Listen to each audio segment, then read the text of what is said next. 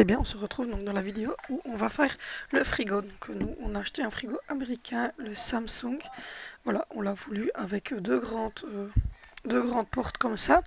On a voulu ça parce qu'il y avait euh, la possibilité de faire passer donc ce côté euh, congélateur-ci. En fait, on a pu le faire passer en frigo. Donc nous, on a fait d'un frigo complet et on a transformé. Donc voilà, avec un petit bouton, vous pouvez le demander. Euh, sur le côté ici et donc il y a un filtre aussi intégré qui fait qu'on remplit avec l'eau du robinet et que ça nous permet d'avoir de l'eau filtrée euh, comme si c'était en fait les cafetières Brita euh, au niveau de la porte et c'est accessible par les enfants. Donc voilà. Donc on va ranger et nettoyer notre gros frigo ensemble. Donc voilà, pour commencer, je vais m'attaquer aux fruits et légumes. je n'en ai pas énormément parce que simplement on fait les courses tous les 15 jours et que euh, et je fais en sorte de ne pas jeter euh, les fruits et les légumes. Donc j'évite un petit peu d'en avoir de trop. Donc la première chose que je vais faire, c'est euh, couper les fraises en petits morceaux, enfin retirer les queues des fraises et les mettre dans une passoire. Je vais juste les rincer vite fait à l'eau. je ne vais pas, voilà, je vais pas me, prendre la tête pour ça. Je vais juste couper toutes les petites queues des fraises et je vais les mettre dans un dans un petit récipient.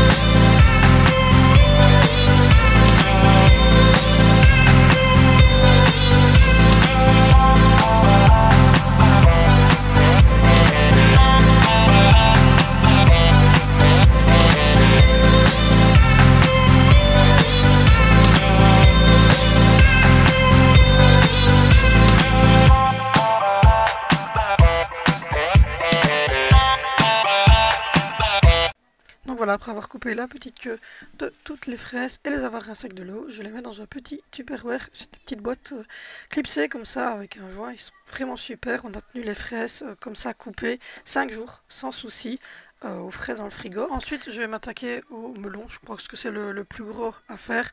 Donc, je vais m'attaquer au melon et je vais le couper lui aussi pour le mettre à disposition des enfants au frigo. Donc, voilà.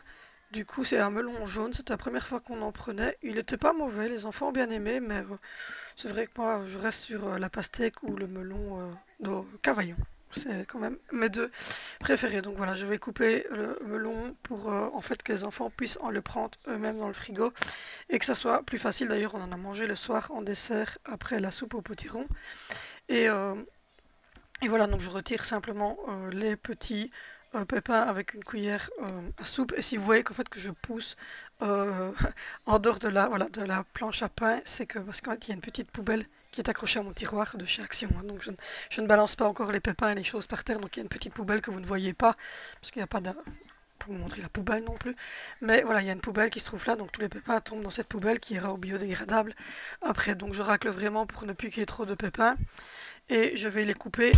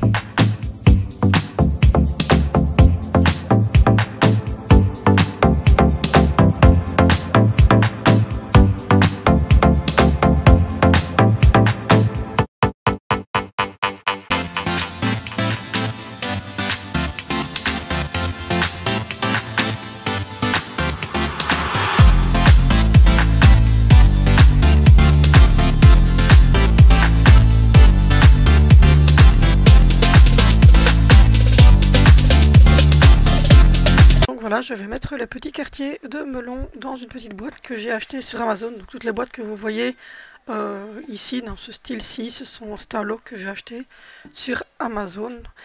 Euh, je ne saurais pas vous dire combien, mais voilà, je le mettrai euh, ici en dessous. J'irai voir sur, mes commandes Amazon et je vous mettrai le prix des, des, 6 boîtes. Je pense que c'était un lot de 6 boîtes. Donc voilà, je mets tous les quartiers de melon dans un petit bac comme ça en disposition des enfants. Comme ça, c'est plus facile pour eux. C'est déjà précoupé. Ils n'ont plus qu'à prendre le morceau de melon et le manger. Ça permet aux enfants de manger des fruits parce que si je ne coupe pas le melon, ben, c'est pas mes enfants qui vont couper le melon. Donc j'ai dit, je dit que c'était mieux. Ensuite, je prends les groseilles et les groseilles, je vais simplement les mettre comme ça dans un pot euh, en verre. Euh, ça n'a pas fait deux jours hein, parce que toutes les groseilles sont parties. Euh, et, voilà, donc moi je les retire pas des grappes, rien du tout. Euh.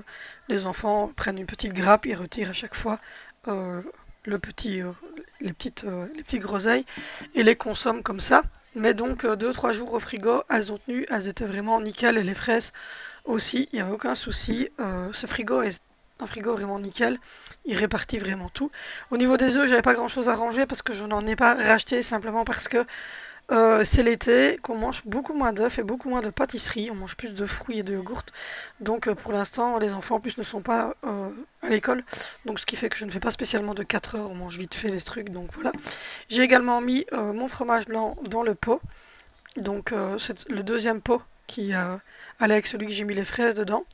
Et le premier, le tout grand, c'était un lot 3, vous l'avez vu dans ma vidéo où je fais l'organisation de la cuisine pour mettre macaroni. Si jamais, je vous mettrai en petit, en petit i à cet instant-ci pour que vous ayez le voir. Donc c'était trois pots comme ça pour 5 euros chez Aldi. Donc voilà, donc il y en a un qui me sert pour mon fromage blanc, un qui me sert pour les fraises et l'autre qui me sert pour mes macaronis. Ensuite, il me restait des pommes de la semaine dernière, mais j'ai rajouté les quelques pommes qu'on avait pris et les poires pour que les enfants les aient à disposition dans le frigo. Il n'y a que les nectarines que j'ai à part. Donc voilà, c'est un gros plat de fruits qui va aller directement dans le, dans le frigo. Et euh, je trouve que les fruits résistent mieux parce que chez nous, ben, il fait très lourd. Il fait pas bon euh, du tout, il fait lourd. Et euh, on a des bulles au-dessus pour donner la luminosité, donc ça donne très très chaud. Donc voilà, je vais mettre les... C'était des pêches cette fois-ci, pas des nectarines. Je vais les mettre dans la petite boîte comme ceci. Et toutes ces boîtes-là que vous voyez, ce sont des boîtes que j'ai achetées. C'est un lot que j'ai acheté donc chez Amazon. Euh, et euh, je les ai reçus en 2-3 jours j'étais contente. Ensuite, j'ai toujours dans le même lot de boîtes, voilà, je vais ranger les, yaourts pour que les enfants puissent, euh, se servir des yaourts eux-mêmes. Et je remets devant les yaourts et les crèmes pudding qui restaient de la, semaine dernière. Parce que ben, comme ça, c'est les premiers qui seront mangés avant d'entamer les nouveaux. J'attends juste que mon fils, je pense, me les amène. Donc voilà, c'est ceux qui restaient de la semaine dernière. Donc il restait des petits yogourts et des crèmes pudding. Donc je les mets là en avant, comme ça les enfants savent que c'est d'abord cela qu'on mange. Ensuite, j'ai mis la salade dans un gros bac parce qu'elle va être consommée euh, tout de suite. En fait, elle a été consommée le lendemain euh, et le surlendemain. Ensuite, je vais euh, m'atteler, arranger tout.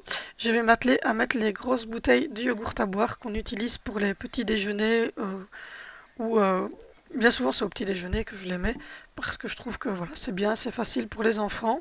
Ensuite, euh, mon beurre, il y a un qui va au frigo et un qui va sur euh, le plan de travail. Donc j'ai deux beurrières. Il y en a un qui va au frigo pour euh, de réserve et qui reste donc bien au frais. Et il y en a un qui va sur ma table sur mon plan de travail euh, qui est consommé euh, au quotidien. Donc là, je vais commencer à nettoyer notre frigo. Il n'est jamais rempli le frigo. Euh, simplement, pourtant, vous l'avez vu dans mes retours de course, je fais des très grosses courses, mais il est très très gros. C'est un frigo américain qui est très très grand. Et si vous voulez, on a transformé, on a poussé sur un bouton. En fait, c'est une des c'est une des fonctionnalités de, celui-ci avec le twin cooling. Euh, le twin cooling, c'est d'avoir la même température au fond du frigo, devant le frigo et à n'importe quel étage du frigo. Vous avez la même température, donc il ne surgèle pas le fond euh, de vos légumes. Il ne va pas, euh, bouger de température. Il a la même température qui est de, je pense, 3 degrés dans tout le frigo. Et du coup, vous pouvez mettre l'autre côté à des degrés négatifs. Donc vous pouvez transformer le côté euh, que nous on utilise en frigo, vous pouvez l'utiliser en congélateur et donc euh, faire descendre la température à moins 18 si vous le voulez. Mais nous ici la but c'était d'avoir un très grand frigo pour avoir de l'espace, pour pouvoir ranger nos courses du quotidien, pour pouvoir mettre les restes euh, qu'on ramène de chez maman ou les restes que nous avons d'un souper pour le lendemain midi. c'est beaucoup plus facile à ranger. Et puis ben, quand je fais des crêpes au goûter ou des choses ainsi, ben, on a de la place pour les mettre au frigo. Et, euh, et pour l'instant, c'est vrai que j'achète beaucoup de légumes surgelés et je vais commencer à acheter plus de légumes, euh, de légumes frais parce que ben, je me rends compte que c'est euh, c'est pas mal non plus d'avoir quelques légumes frais. Donc voilà, je donne un bon coup de loc humide dans le frigo sans produire rien du tout puisque ben, quand, comme le frigo est, rangé, que tout est dans des boîtes, euh, j'ai pas super besoin de le nettoyer à fond puisque ben, d'office le frigo, il est, propre. J'ai retiré la plaque de verre, je ne la remettrai pas parce qu'en fait j'ai mis mon, plateau tournant pour mettre euh, les sauces et donc du coup il était un peu dans il était un peu dans le chemin puisque c'est des gros pots de mayonnaise, de ketchup, donc ça prend beaucoup de place. Donc voilà, donc je donne juste un petit coup euh, de rafraîchissement dans le frigo.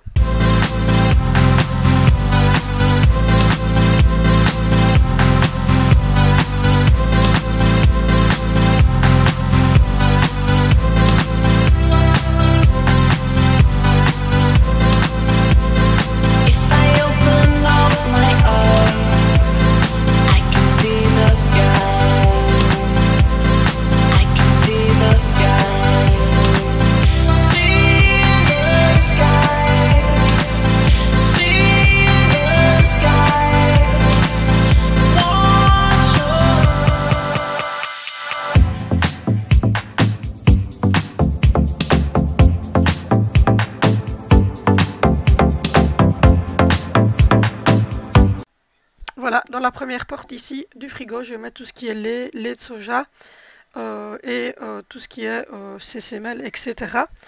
Donc c'est un rangement que je fais assez rapidement. Donc voilà. maintenant le lait de vache, en fait, je l'ai mis dans la boîte parce que j'avais pas fait encore les cruches à ce moment-là, mais j'ai remis mes cruches en fonction de jus d'orange et de lait, les, les deux. Et celle que j'utilise pour le lait, vous la verrez dans une vidéo restock qui va sortir bientôt. Simplement, c'est que c'est que celle du lait euh, n'était pas lavée, en fait était dans le, dans le la vaisselle. Donc désolé, ça a clignoté un petit peu au début, mais ça va vite s'arrêter. C'est parce qu'il est ouvert et que il, fait euh, une alerte en fait en disant qu'il est ouvert. Il sonne en même temps, mais voilà. Donc euh, il s'arrête assez vite. Donc au premier étage, j'ai mis tout ce qui était yogourt, yogourt à boire pour voilà, pour avoir facile pour les pour les enfants. Et ensuite, j'ai mis les fruits à ce niveau-ci. Donc vous allez voir que je vais changer plusieurs fois le rangement parce que à chaque fois je j'essayais un truc et puis je me disais non ça ne va pas etc. Donc voilà je vais faire un étage avec les fruits. Et euh, au-dessus des fruits je vais mettre le bac avec la salade parce que je trouve qu'elle était bien là, elle ne sera pas trop ennuyée par, les enfants. Et euh, elle ne sera pas trop trop elle était bien refermée dans le petit coach là et du coup, euh, j'ai d'abord mis les fraises, et puis après je me suis dit non, ça n'allait pas, donc j'ai mis la...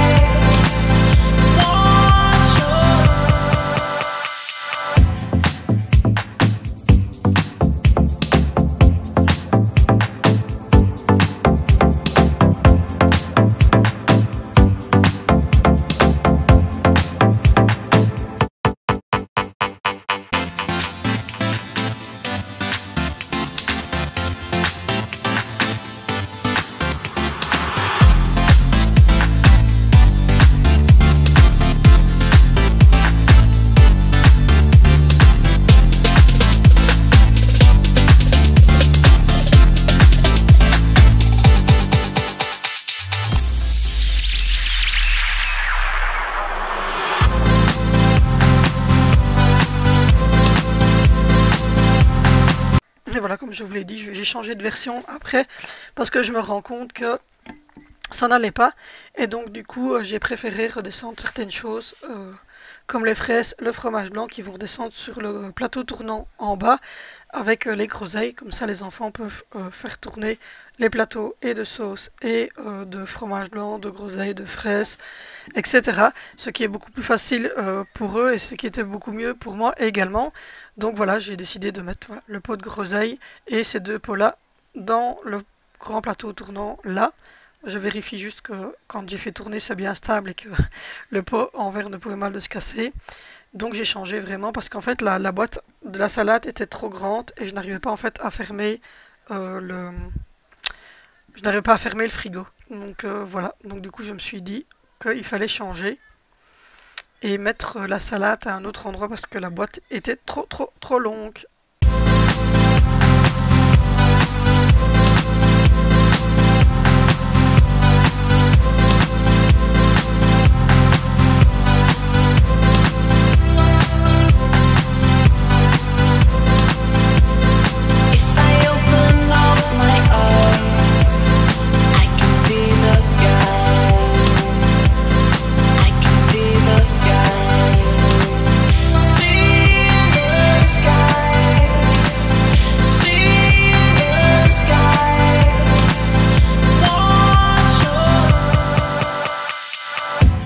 Donc voilà, ensuite on se retrouve dans le beverage.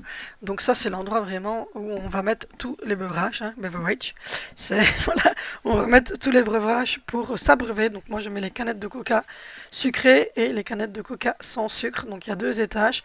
Euh, ça c'est plutôt voilà le petit bar pour euh, les petits plaisirs, ainsi que la cruche d'eau et euh, le distributeur d'eau qu'on utilise énormément puisque on met l'eau du robinet dans une cuve qui se trouve dans le frigo et ça filtre, donc ça fait l'effet d'une brita en fait, et ça filtre et le filtre il est bon pendant 5 ans, donc, du coup j'ai le temps de voir venir et il est conseillé de changer l'eau du bac tous les deux jours en sachant que nous bah, évidemment au nombre où on est, vu que les enfants boivent de la grenadine, que moi je bois beaucoup d'eau, en, deux jours de toute façon on a on n'a plus d'eau. Mais donc voilà, je mets les canettes de coca. Elles ne sont pas toutes là, hein. c'est une, moitié, l'autre moitié dans notre frigo de réserve. Voilà, je vous montre euh, la cruche qui est, là. Et le distributeur d'eau, donc les enfants n'ont qu'à appuyer leur gobelet euh, ou leur verre ou leur gourde et ça se, ferme tout de suite. Et donc voilà, je vous montre le frigo fini avec, euh, avec tout ce que, tout ce que j'ai rangé, tout ce que vous avez d'ailleurs vu que je rangeais. Donc voilà la, vraie disposition. Et comme je vous l'ai dit, j'ai remis euh, ma cruche de lait maintenant. Euh, voilà un peu notre frigo comme il est rangé. En tout cas, j'espère que cette vidéo rangement frigo vous aura plu. N'hésitez pas à liker, n'hésitez pas à commenter, n'hésitez pas à vous abonner, à me retrouver sur Instagram et sur Facebook pour tout ce qui est euh, produits Shogun et pour des stories euh, sur notre vie quotidienne. Et moi, je vous fais de gros bisous et on se retrouve lundi sur cette chaîne pour une nouvelle vidéo.